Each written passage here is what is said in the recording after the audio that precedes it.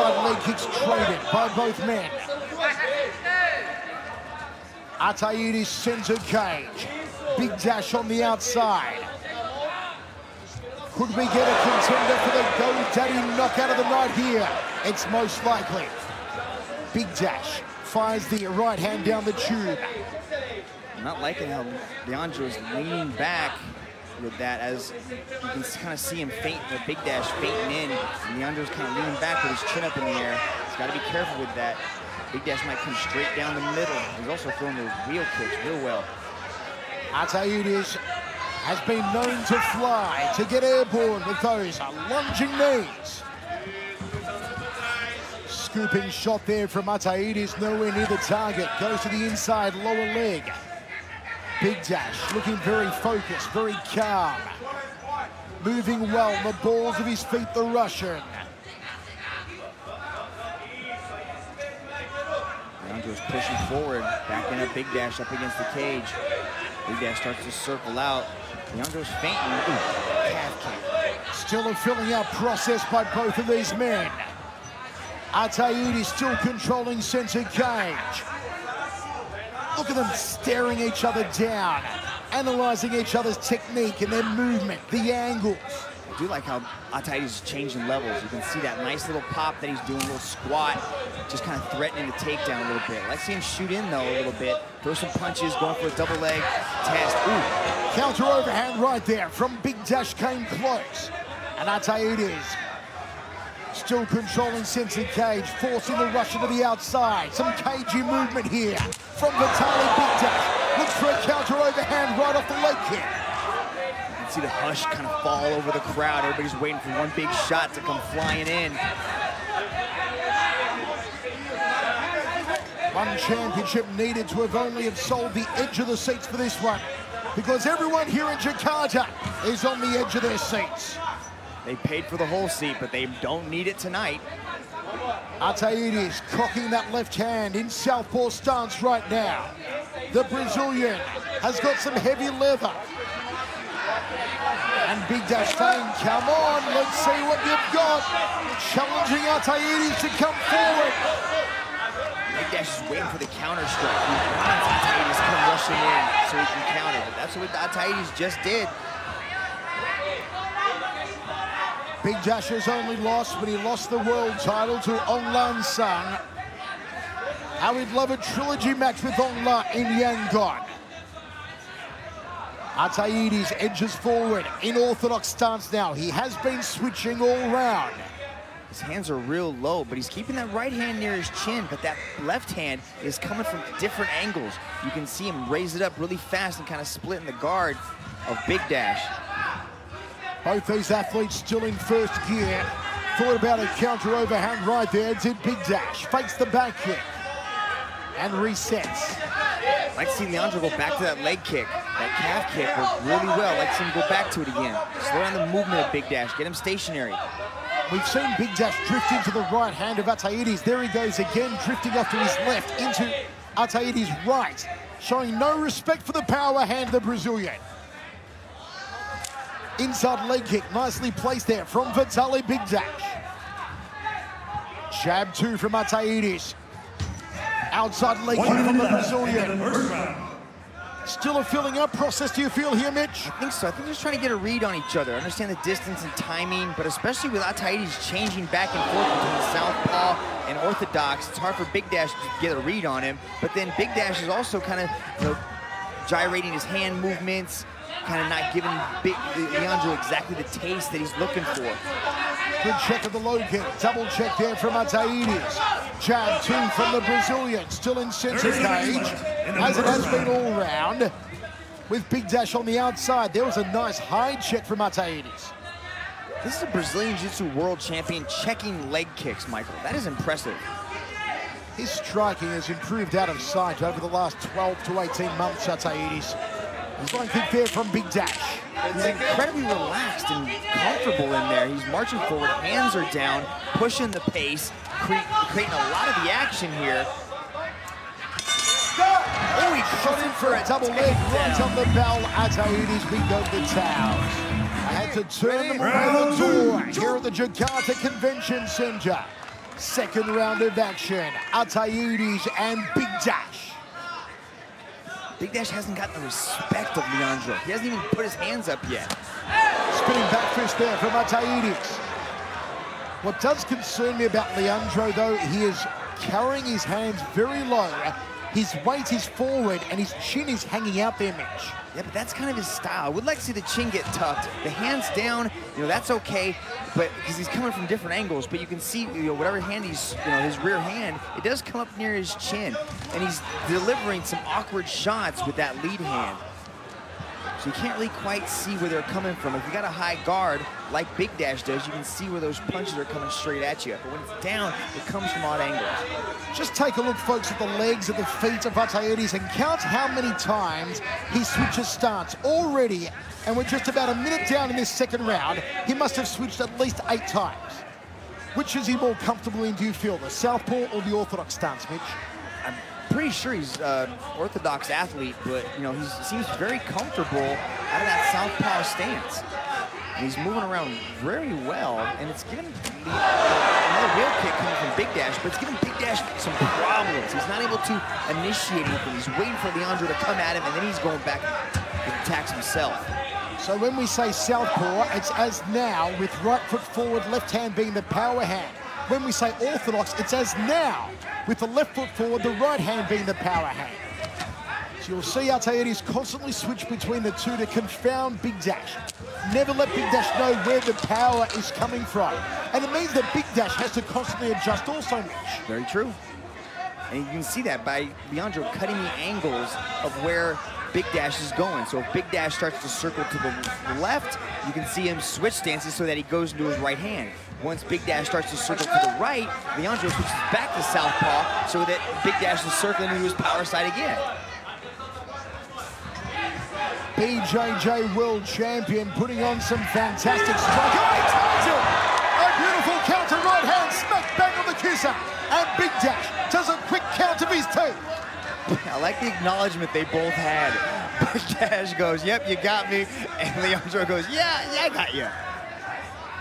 Mitch, do you feel these two men, given the high stakes that are up here tonight, are holding back a little too much? No, I don't think Leandro's holding back.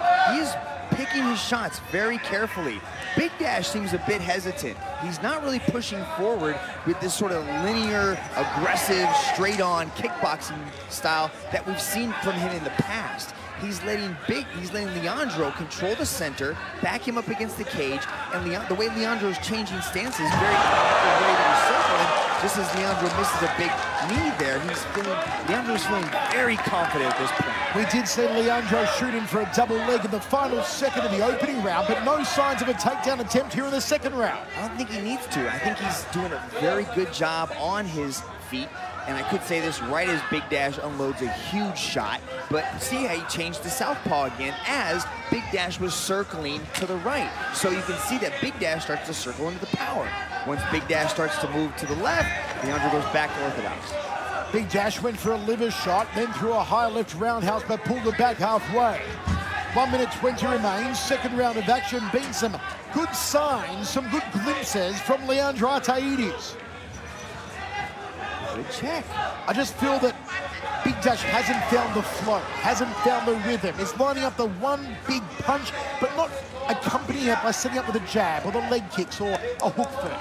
He's not first. That's what he needs to do. He needs to start putting pressure on Leandro. And he's not initiating Mitch. He's allowing Leandro to initiate most of the attacks here. And Mitch, I've got to ask you, the expert, the question, why? Why is Bigdash playing this game? Why is he not initiating Ooh, just went up there with a big high kick. You know, I can't say why. Maybe it's because he's not feeling himself.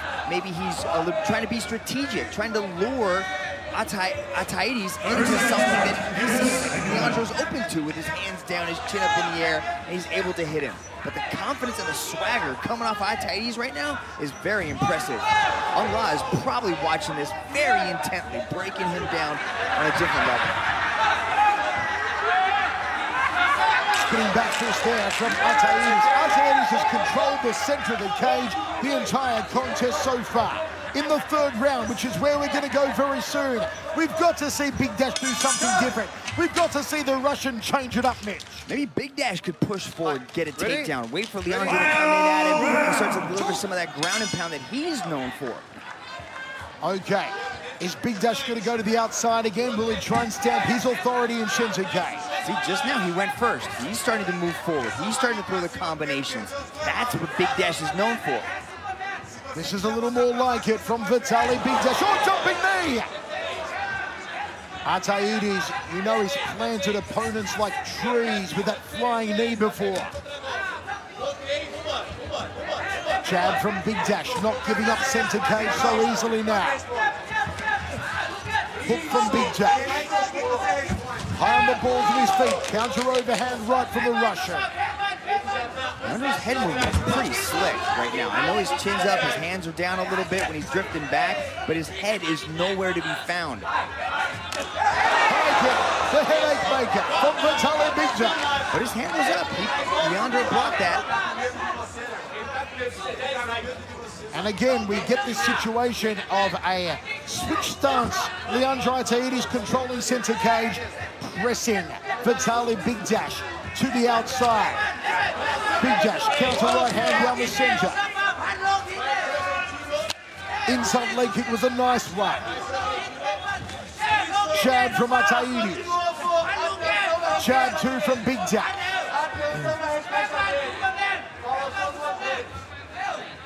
Last time we saw Bigdash in action, he did hang back and he was disappointed by the decision that was given to him, Mitch.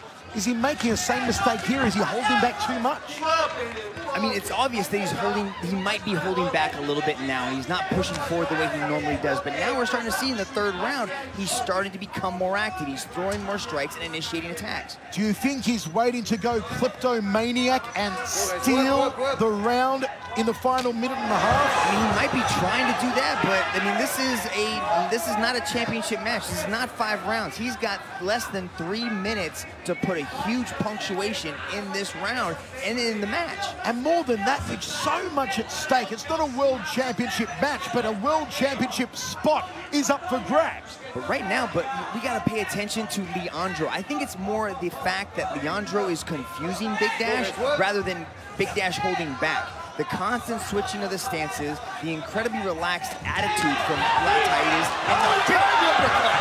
Here comes Leandro.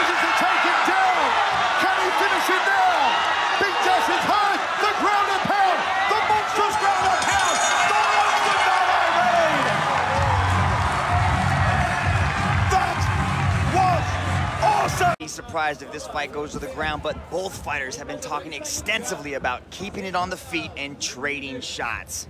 Pasternak his game plan here tonight is to draw Ataides into deep water. He believes the cardio isn't matching his, and if he can get Leandro out of the first round, the Brazilian will tie it. Meanwhile, Ataides said he'll get Pasternak on the ground and sub him out via an armbar. It's Pasternak in the black shorts here in the southpaw stance.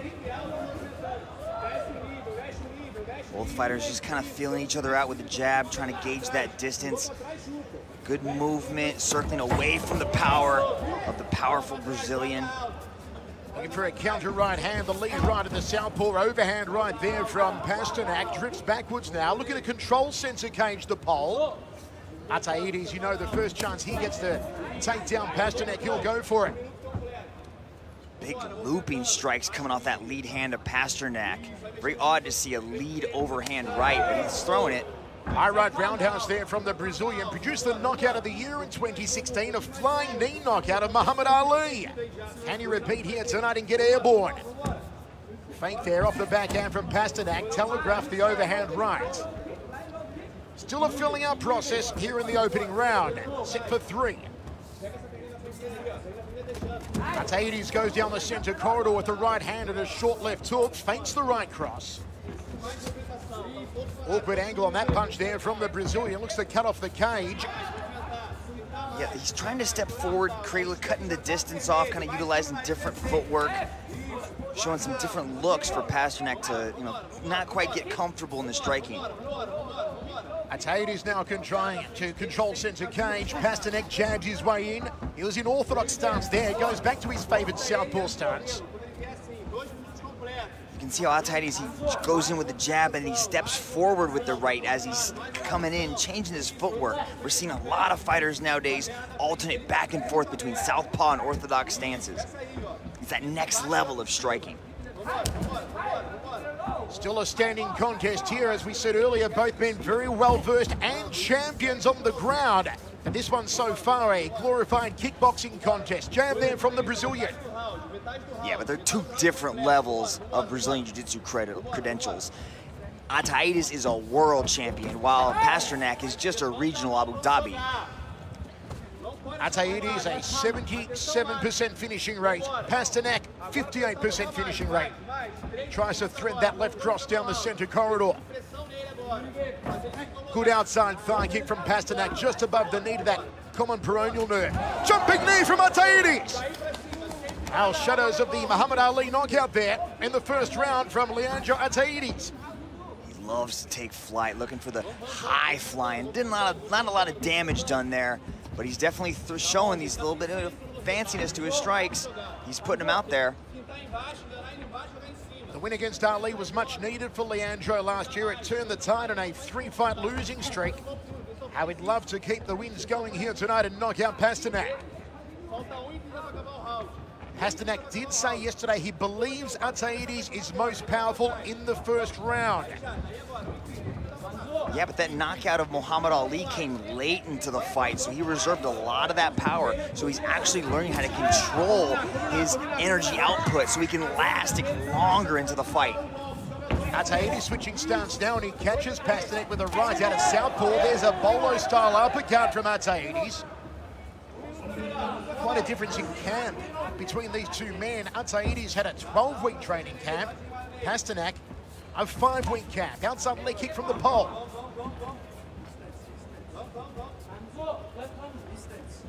Right, probing with the lead hands here. Makes a little awkward when you're an orthodox fighting a southpaw, and those lead hands do tend to clash up like that, Mitch. Yeah, they do, but they're just kind of, you can just see them, they're just kind of find their range, trying to really understand just how close and how far that is. You know, when you're a southpaw, you're used to fighting right-handed fighters, but when you're a right-handed fighter, orthodox, you really don't get a lot of looks at southpaws.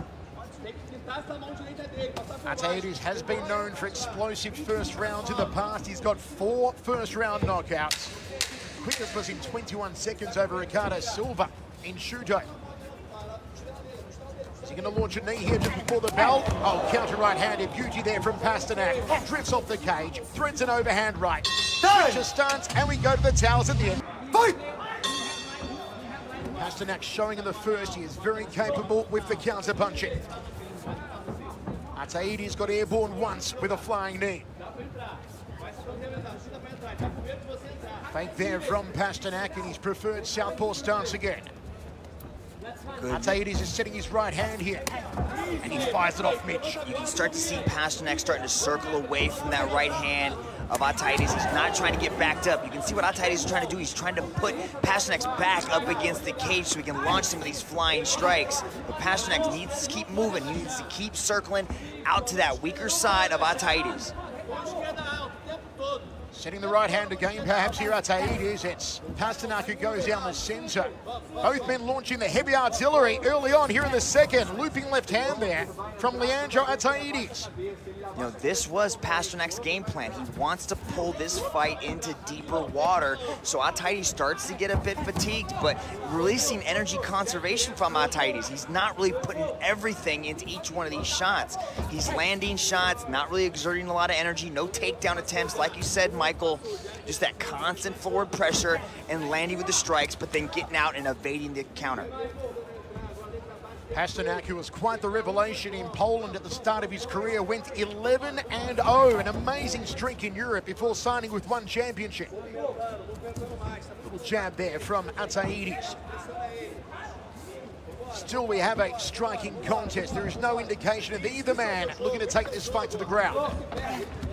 Lunges, overreaches a little with that rear left hand as Pasternak.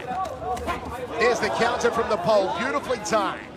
Yeah, Ataides is trained with some of the top strikers in Brazil out there at Novo União. Trains with Jose Aldo, Renan Barão. just some top level strikers, and he's really learned a lot, and that's where he likes to keep things. He likes to keep things on his feet, and he's showing good head movement here. He really hasn't been like you know, hit with a lot of shots from Pasternak. Pasternak's just out of range. So he's a five-time world BJJ champion and a gold medalist in the Copa del Mundo.